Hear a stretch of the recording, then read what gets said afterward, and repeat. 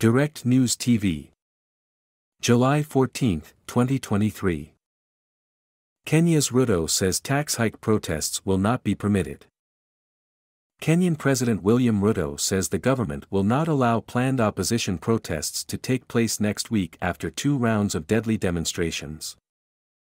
More than 300 people were arrested in the aftermath of this week's rallies, but the party of the main opposition leader, Raila Odinga, called for three more days of protests starting on Wednesday against tax hikes that Ruto signed into law last month. Ruto, who beat Odinga in an August election, said on Friday that he cannot accept anarchy in the country.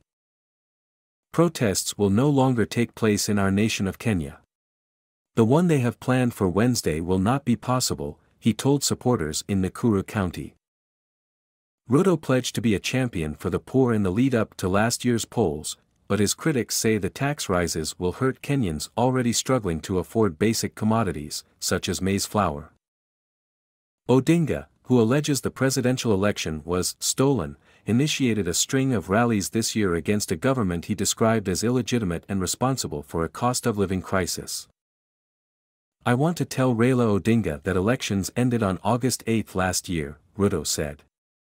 You can't seek the leadership of our country through bloodshed, deaths and destruction of property.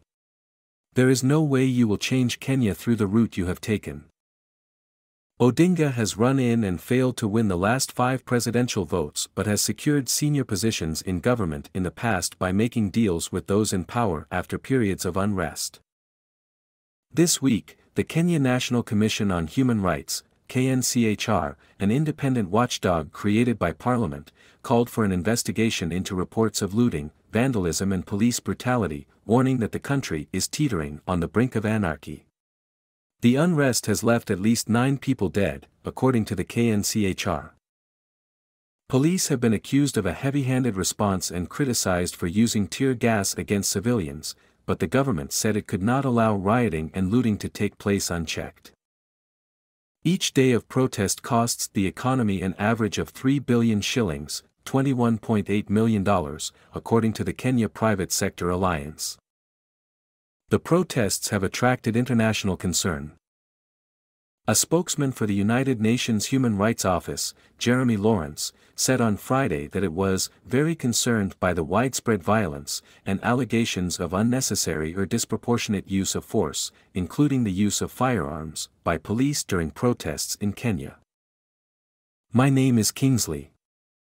Please like, share, subscribe and hit that notification bell so you can be the first to be notified whenever we post you won't regret it.